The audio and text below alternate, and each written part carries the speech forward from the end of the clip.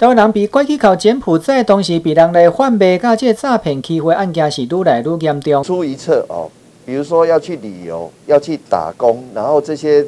不法组织就是以高薪，然后免住、免免宿，一切都是招待的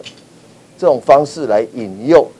那一般来讲，这些都是也是相对比较弱势的家庭。为了哈做这块代志，佮来发生，市长会提今日来协同警察局、教育局、甲管务局来调开记者会，宣布着重要作为。因为去出国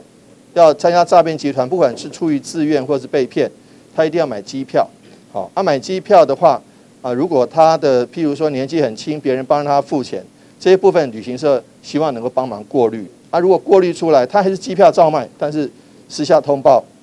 我们的警政系统。那如果因为这样在机场拦下来，或在出发前拦下来，或在任何时刻只要不要离开中华民国国境被拦下来，那集团被破获，防止了后续有人持续被害。这样的话，我们一个人原则上是，譬如说这一团有五个被害者，啊，不管他出于自愿或者被迫，五个受害者，那我们就一个人两万块钱。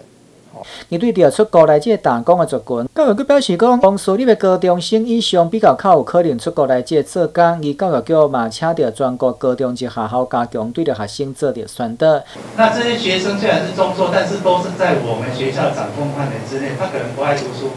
所以这些学生呢会出去打工。以目前我们掌控到的状况，基本上是，呃是没有这样的情况。伊管务局嘛来表示，全市旅行社业者会加强反国际诈骗，对主动通报、加强宣导、甲打着标记三方面起来做。我就是有一些样态，包括在十六岁到三十岁来第一次办理护照，或者是没有工作者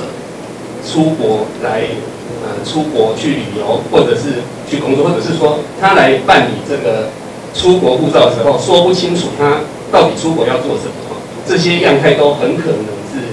这个国际诈骗的一些事项。是今天叫上个的记者会当中，马来报送着成功救得来受害者现身说法，家己被来骗去的过程，嘛希望会当对着台湾的少年人会当有所警惕。南天新闻台伊城台南采访报道。